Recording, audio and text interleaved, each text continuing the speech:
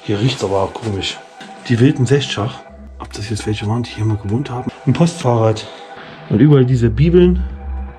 Und diese coolen, ey, diese richtig coolen äh, Stühle da hinten, die sind geil. Oh, krass. Das ist ein übelstes Gewölbe. Wie so ein Tunnelsystem oder was. Oh, es geht hier hinten weiter. Hier geht's weiter runter. Freunde, wir befinden uns heute bei dem heutigen Video in einem ehemaligen Waldhotel. Waldpension. Waldpension Hotel. Wir sehen auf jeden Fall, dass hier viel von der Jugend schon gemacht wurde, dass sie sich hier breit gemacht haben. Aber wir gucken uns das trotzdem an. Viel Spaß beim Video, bleibt dran, es wird spannend. Bis gleich. Und wir fangen auch direkt in der Gaststube an. Und wir sehen hier, da oben steht noch eine Kaffeemaschine. Hier ist eine Durchreiche gewesen früher. Ich schätze mal, dass da drüben war auch der Eingang. Alte Bilder, teilweise sind ja noch Kaffeekännchen und sowas. Das ist das, was ich vorhin gemeint habe mit der Jugend. Also das sieht auf jeden Fall so aus wenn die sich die Sofas hierher gepackt haben und haben hier dann abgeschillt. Hier sind noch ein paar Kunstblumen. Hallo kleiner Bär. Guck mal, hallo kleiner Bär. Du bist mein Stich, mein Häschen. Hallo mein Bär. Mein Bärchen. Ach guck mal, hier könnte man auch damals mit ET-Karte zahlen. Warum sind wir hier nicht rein? Weil hier offen ist. Wir gehen noch mal in die Zimmer nachher, wenn wir die untere Etage fertig haben. Oh, Keller, super. Das ist ja ein cooler Kellereingang, oder? Der sieht ja krass aus. Oh, das sieht krass aus. Machen wir dann mal zum Schluss, oder? Ich glaube, es ist nur ein Raum. Ja, wir haben trotzdem auch immer die Gewölbekeller auf jeden Fall. Hier ist der große, die große Halle. Ich denke mal, hier wird Essen gewesen sein. In dieser Gaststube. Das ist die Küche von dem Hotel. Diverse Sachen sieht man noch. Das ist ein alter Mixer hier, ne? Ja, schau mal. Alter Wix. Ein alter Mixer. Und das ist aber. Was ist das? Rosenkaviar. Oh, da gab es sogar Kaviar. Oh, Freunde, das hätte ich schon sicher erwartet. Ich dachte, das Ding wäre eigentlich noch ein Schuss. Aber die Decke ist ja komplett hier unten. Krass. Das, das Problem ist nur, dass man, wenn man hier was anfasst, gibt es hier einen Effekt.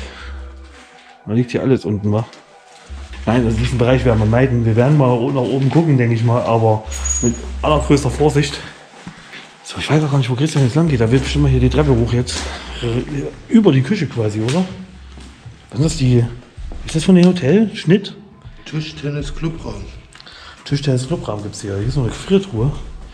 Hier riecht es aber auch komisch. Hier kann man auch mal sehen, was es hier so gab.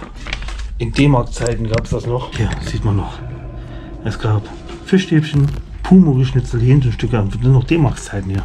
Das waren noch Preise, wa? Hier sind noch CDs, die wilden Sechsschach, Druckerpatronen und so weiter. Okay. Das sieht aber alles so, guck mal hier. Bader 75 Jahre. Sieht auch so alt aus, ne? Hier steht noch alles hier. Arbeitsamt, hier steht die Akten. Ja, das wollte ich euch zeigen, so eine Speiser- Speisekarte, aber das ist leider nur so ein leeres Teil. Ob das jetzt welche waren, die hier mal gewohnt haben, aber das wäre dann nicht schön alt. Da ist ein kleines Lager noch mit Zeug von den Hotelgaststätte. Rechnungsbelege 2002 und 1999. So. Gibt es irgendwie mal eine. Oh, wann ist denn das nur immer? Sind diese alten Zeitungen 2003, 2004. Okay. Ja. Hier hätten wir aber auch hingekonnt. Hier, guck mal. Ich sehe das schon. So, jetzt äh, vorsichtig hoch und du gehst vor. Und ich warte, bis du oben bist. Nicht, wenn hier alles runterbricht. Bewegt sich aber nicht die Treppe oder so. ne? Alles sieht, sieht gut aus. Okay, was haben wir hier? Ein Postfahrrad. Auch nicht schlecht. Und Werkzeug. Und ich habe das Gefühl, dass hier alles schief ist. Ja, ich auch. Aber extrem, ne? Deswegen immer schön an der Seite irgendwie. Das schöne Postfahrrad. Okay. Hier ist noch ein Bett auseinandergekloppt. Oh, was ist das? Was ist das? Das sieht aus wie so ein, so ein Rehanzug. Das verstehe ich nicht. Traust du dich da rein? Na, guck doch mal da. Mit Beinen. Stellen wir jetzt mal auf die Schwelle. Hier haben wir Raum mit diesen Stühlen da. Hier ist noch ein Schreibtisch mit diversen Zeug. Hier sind noch CDs ohne Ende. Und die gelben Briefe, die bedeuten immer nie was Gutes. Hier hängt auch noch so eine Jacke. Oh, das biegt sich ja, Alter. Guckt euch das an. Gefährlich. Gefährlich. Hier? Ja, ich glaube, das war so. Da hinten ist er. Siehst du es? Da ganz da hinten, gell? Äh, da fühlt man sich wirklich nicht gut hier bei den Bällen, oder? Es wird schon so sein, dass hier irgendwelche Obdachlosen mal waren früher und hier gewohnt haben quasi. Hier hängt ja noch eine, äh, eine Hose, Schuhe und ein Pullover. Christian hat sich ernsthaft getraut, bis dahinter zu laufen, ich verreck. Also ist schon, wenn man wirklich nicht weiß, wie das nun ist mit der Statik hier. Hier sind noch Bilder an der Wand. Eine Wickelkommode für Kinder sieht es so aus da hinten. Mit einem übelst coolen Radio hinten dran. Da seht ihr das. Mit Uhrzeit und also ein Radio halt mit Bett. Cool, sieht man jetzt auch nicht mehr so häufig, weil es nicht mehr modern ist. Und überall diese Bibeln. Und diese coolen, ey, diese richtig coolen äh, Stühle da hinten, die sind geil. Du bist ja der Bauauftragsexperte. Nicht ich. Sieht gut aus, ja? Das fühlt sich gut an. Okay, dann gehen wir mal langsam in den Dachboden oder auf den Dachboden. Aber hier müssen wir dann halt aufpassen, wie ist die Decke schon durchgeweicht. Ja. Na, die hat sich ja übelst ge... Oh, was ist das? Das sieht aus, wenn die das da hingestellt haben, da hinten. Damit es die Decke hält. Das gibt's doch nicht. Das muss ich euch zeigen, wenn wir da hinlaufen. Oh. Ich muss ja mal reingucken heute, aber wir müssen echt vorsichtig machen. Ja. Ja, hier ist noch ein Zimmer. Stuttgart. Wir kennen alles außer Hochdeutsch. Das ist das, was ich gerade gesagt habe. Diese Hocker halten die Decke. Ich kann euch das mal zeigen. Zeig mal. Da. Leute, seht ihr das? Die Hocker halten die Decke. Da. Hier das ist die Kopf, die Kopfeinschlagskante. Hier waren wir jetzt in der Mitte. Aber schnell wieder runter, ich fühle mich hier nicht wohl. Ey, siehst du dieses Riesenvieh da? Ja, mach's, mach's tot. Das ist so ein Abstecher und siehst du, da ist schon Schluss. Ich sehe schon die Bank. Da, Ja, da ist nichts. okay, ist nur ein Raum. Ich gehe nicht rein, das ist das Riesenvieh gesehen.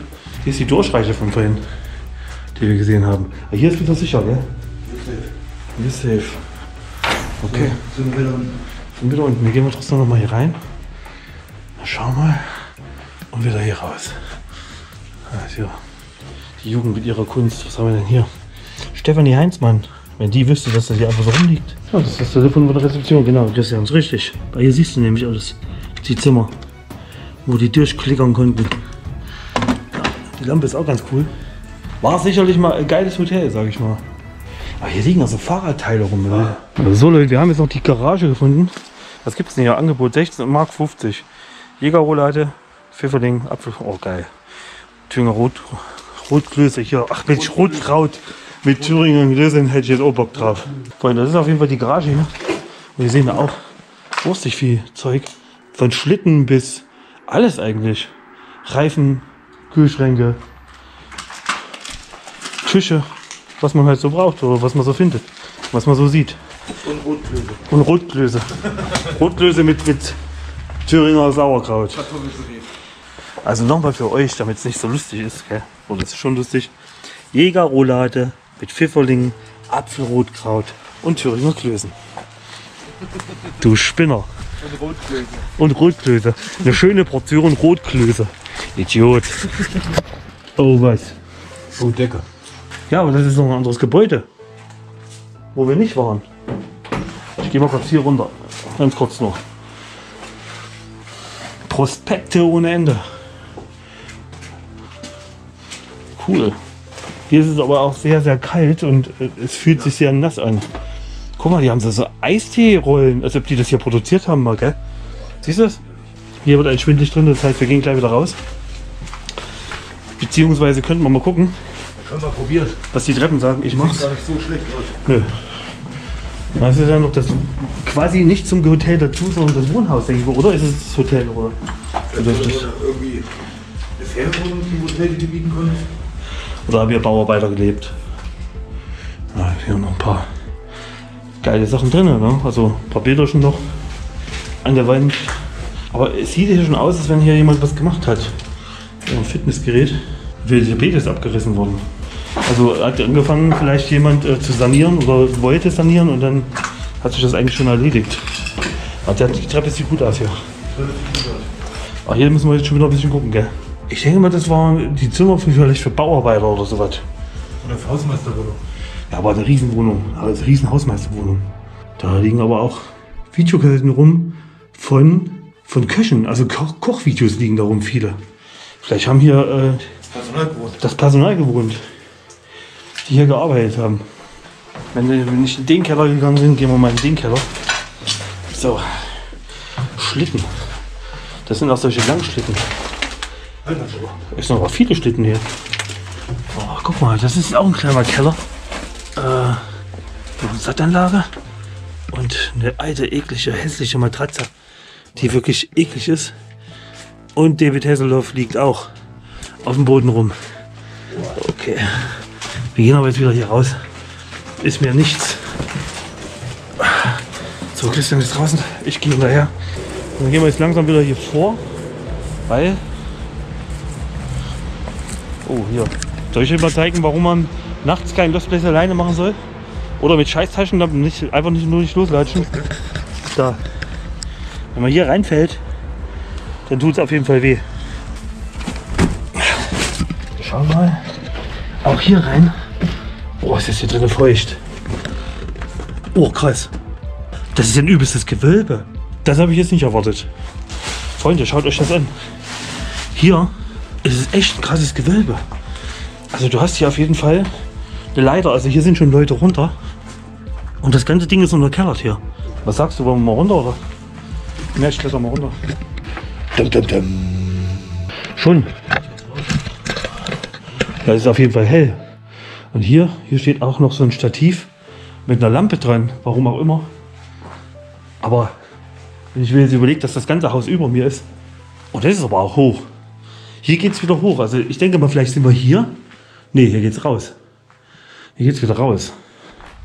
Ist schon äh, echt beeindruckend, wie hoch das ist hier drinnen. Irre.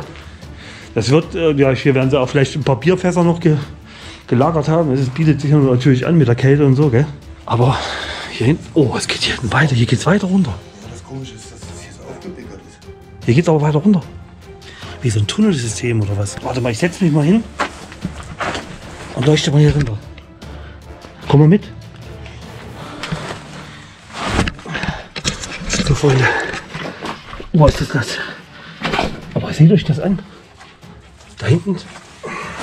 Du kannst ja nicht stehen, du sickerst hier richtig ein. Das ist alles, hier geht's irgendwie runter, aber wie weit weiß ich nicht. Ich komme wieder raus. Guck mal. Pass auf, das ist übelst das hier drin. ne? Das geht noch bis da Rinder. Ja, weiß ich eben nicht, ob es dann da weitergeht, aber das ist schon komisch, dass das hier ist, ne? Gibst du mal die Kamera, wenn ich hier hochkraxe? Das sieht alles sehr komisch aus hier irgendwie. Das sieht aus wie aufgebickert hier. Als ob das noch nie so war, oder was? Ja, guck mal hier. Das sieht irgendwie so aufgebickert aus hier. Ja. Das kann natürlich sein. Aber ich glaube nicht, dass es hier weitergeht im Tunnel. Guck mal, du siehst das hier, das ist so rund hier. Das ist komisch. Ja. Na gut, wir gehen auf jeden Fall wieder hoch. Das hätten wir jetzt nicht gesehen. Wir haben noch mal zurück. Ähm, das ist schon ein mysteriöses, mysteriöses Hotel, oder? Das ist komisch in dem riesen Keller.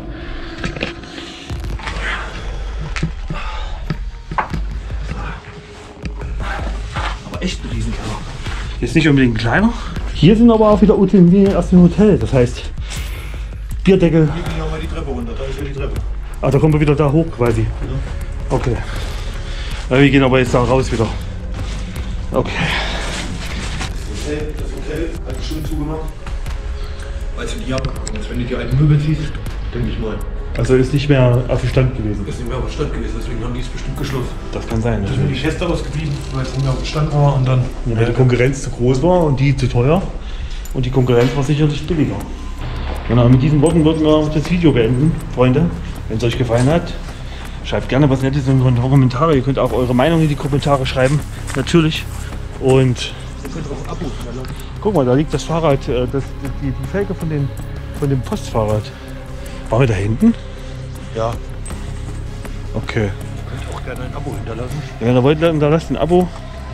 Und ganz wichtig für alle, abonniert die Glocke, sonst kriegt ihr keine Benachrichtigung. Und das ist auch ganz wichtig, wenn ihr, euch, wenn ihr, uns, wenn ihr uns wirklich weiter verfolgen wollt, dann macht das. Und wir sagen bis dahin, Auf morgen. Bis Wiedersehen. Servus.